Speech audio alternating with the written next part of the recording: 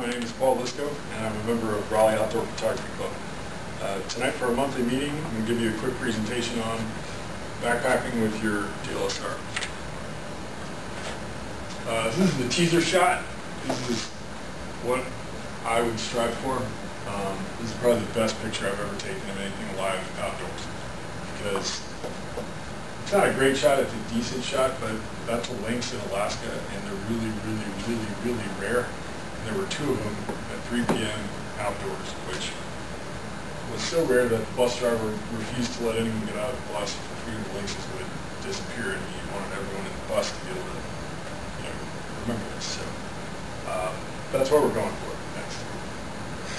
Okay, so I'm going to talk about wildlife photography, landscape photography, protecting your gear, and overcoming some typical challenges that you will encounter if you take your gear outdoors far enough away that you've got to sleep outside, etc. So, uh, in order to get after wildlife, my main tips would be start with a truly huge lens. Uh, this is the type of lens that I definitely have never owned. Um, I recommend lensrentals.com with the insurance. Uh, depicted there is the 300 millimeter 2.8 prime, which is possibly one of the greatest telephotos ever built, and that's how I shot that lynx. Um, I can't afford it, it's like six grand, but you can rent it for not that much. Take it to Alaska and get yourself that shot. Um, second one is obviously get to a location with animals. I've personally had better luck with national parks because they're protected for a reason. If you've ever been deer hunting, you know that deer are smart enough to know what's posted and what's not. So animals go to where you can't kill them. Um, national parks are really good for that. Uh, and I've been to those before, but almost any, including state parks, local parks, will work. Obviously, zoos, uh, animal conservatories, which there's a picture of later, uh, are also great places to go and find wildlife. Um, the last one is use a tripod or monopod because, as you know, if you've tried to do this um, and you use a large lens, you're going to have camera shake issues. Um, you often want to pan to follow an animal that's moving. So that's absolutely critical. I noted there you may need a lens plate because that's an issue that I ran into when I started renting lenses was I had a tripod, uh, but it turns out you need an adapter plate to mount a very large lens onto a tripod. So I purchased my own lens plate even though for several years I did not have a very big lens. So I rent the lens, bolt on the lens plate, go backpacking. Um, and we'll look at a specific lens plate later to give you an example. Talked before about if you have a big lens, um, use the lens hood. That was, that was that tip. But the black thing here on the bottom of the lens is the lens plate. And that's the part that doesn't come with the lens. So if you rent this lens from Lens Rentals, which I did for so many times that I pitched my wife that I needed to own it because renting it was stupid. Um, she's supportive. The lens plate doesn't come with it at all, and that almost created a problem the very first time that I tried to do all this. So uh, if you, you see, you can use the lens, lens hood like that. So if you're going to mount a big lens, you just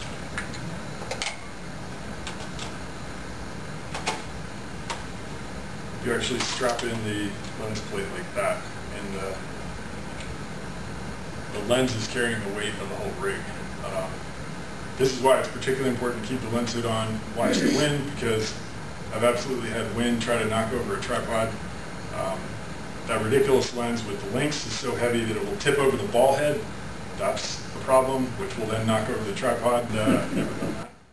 Yes. So this is a little bit of a description about that shot. That's the actual shot, not an amazing shot. Kind of blurry. There were trees in the way, but I post-processed it to look like the one that you can see that's hanging on my wall. Um, no one else in the bus got this shot because no one else in the bus rented that lens, um, and we couldn't get out of the bus. So it was kind of important that I not only have a, a long zoom lens, but a fast lens. It was dark. It was overcast Alaska at 3 p.m.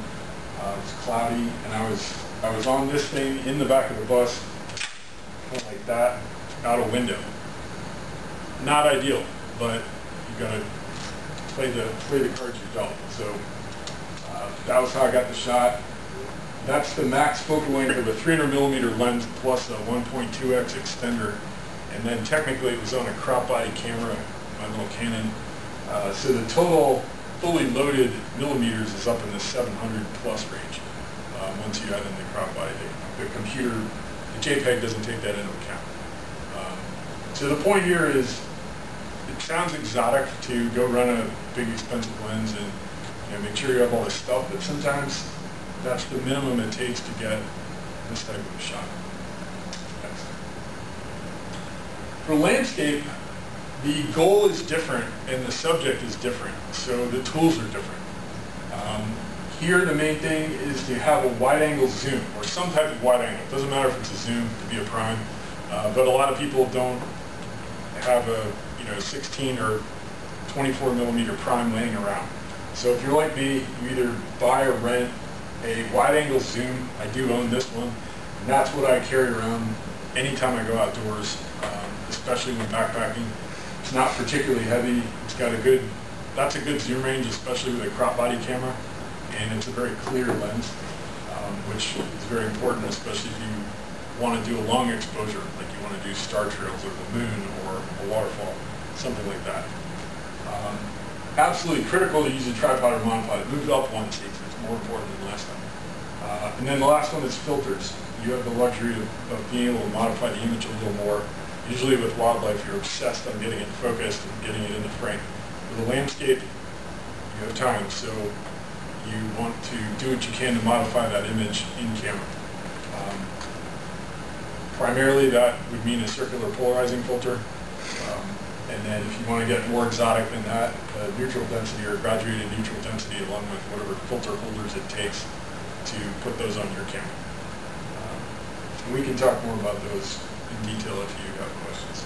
Uh, next. Yeah, it doesn't come out so well.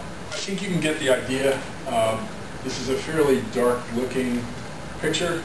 Uh, it's with the lens I mentioned, and it's a stitched panorama from a particular spot uh, high up on the side of the mountain.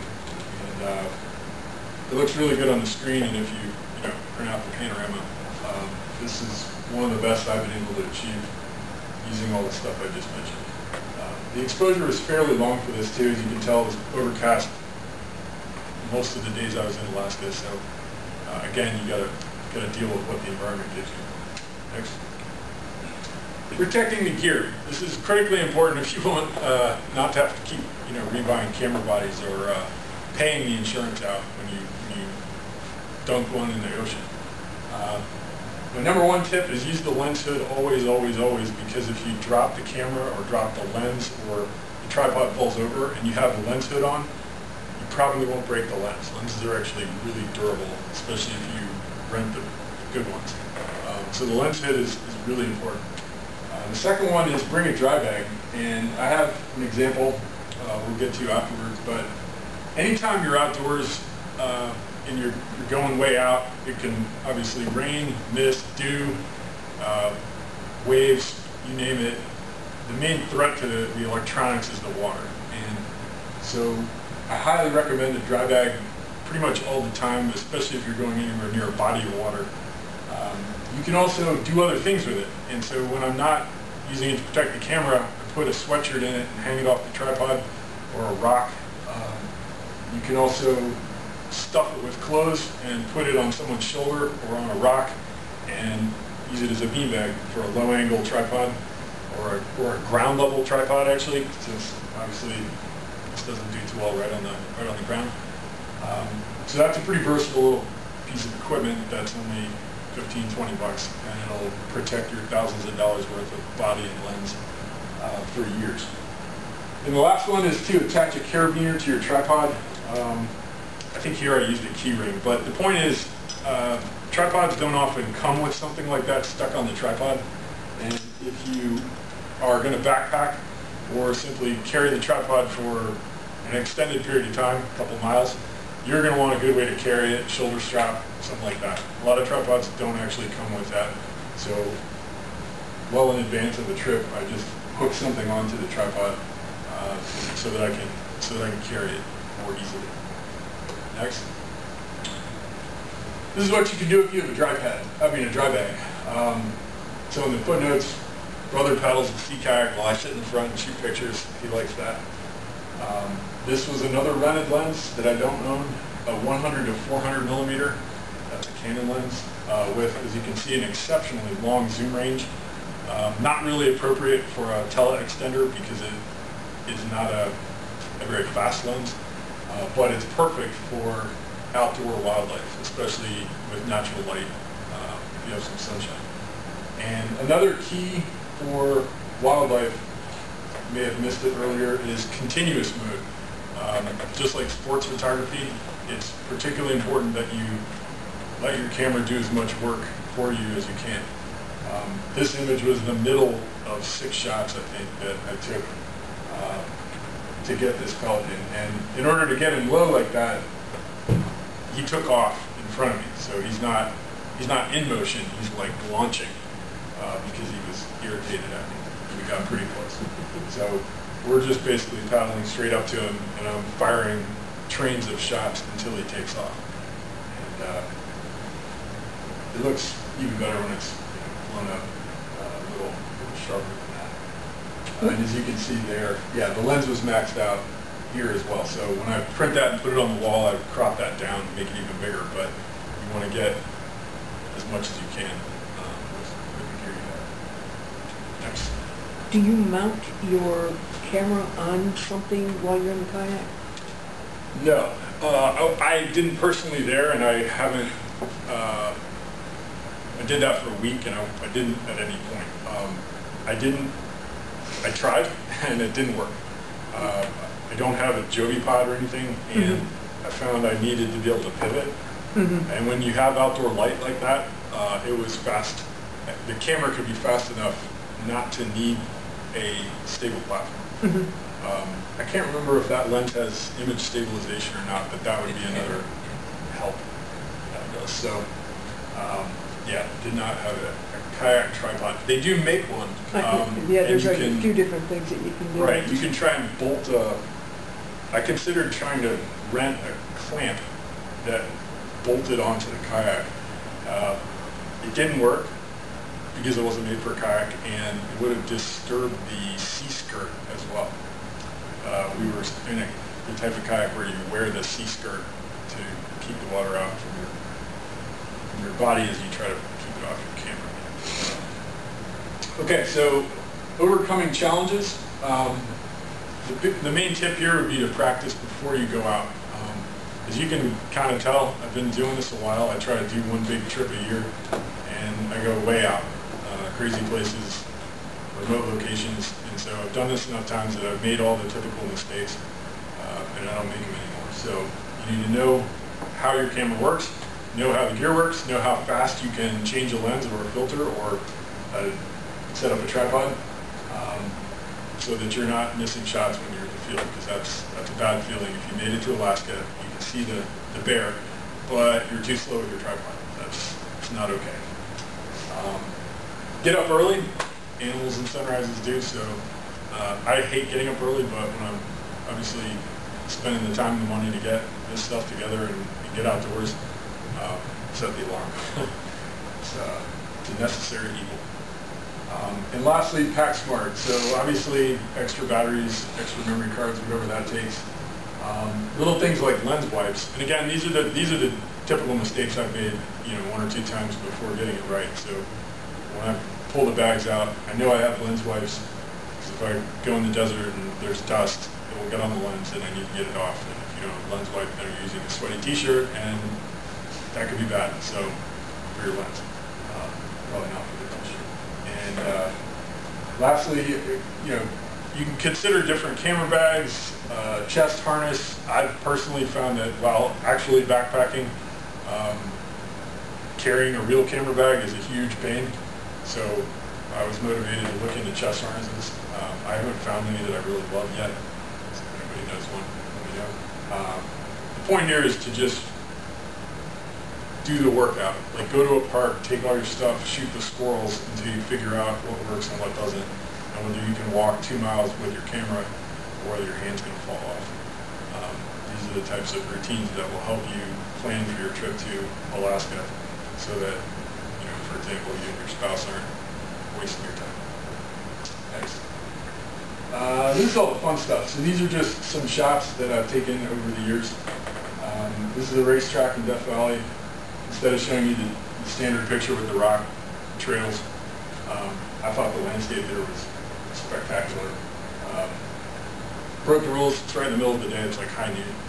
But the palette was very good. Uh, next. This is at the conservatory. This was one of our meetups not that long ago. Um, shooting through a fence, but you can't tell because I was right up on it.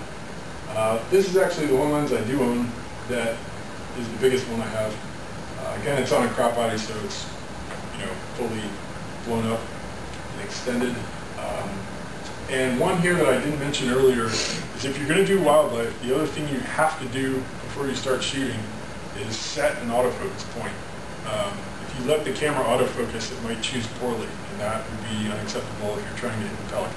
So that means manually setting either the center point, which is pretty easy and typical, or if you have some interesting composition where you want to manually pick a non-centered autofocus point, that's fine, do that too, but do it before you are ripping through your continuous mode shots. Um, and with this guy, even though, you know, he's stationary, he's in a cage, um, I was presetting because I want that eye. And you can see it on a computer screen. The eye is in sharp focus, and the whiskers are actually, you know, just on the edge of a knot. So you want to have all that set before you try to capture your critical shot. Next. Uh, this is Canyonlands, just the standard landscape. Again, middle of the day, got some crazy clouds. Um, yeah, this was handheld because my, my brothers started yelling at me if I bring the tripod and set it up all the time. So I do a lot of handheld. I tried to make them carry it one time. That they still talk about that here. That was- nobody carries my tripod anymore. Uh, next. Uh, this is back in the Everglades. This is actually an HDR composite highlighting when you would use a tripod for sure. Uh, very dark sunset, trying to you know stack up three different exposures using auto exposure bracketing. Um, I think I yeah had the polarizer on that one. Um, uh, okay, this is really the footnotes um, for the website, and these are the websites of choice to look at or get all the gear I talked about. And that's all the time we have for this segment. Please join us next month for more presentations by other members of our club. Thank you. Thank you.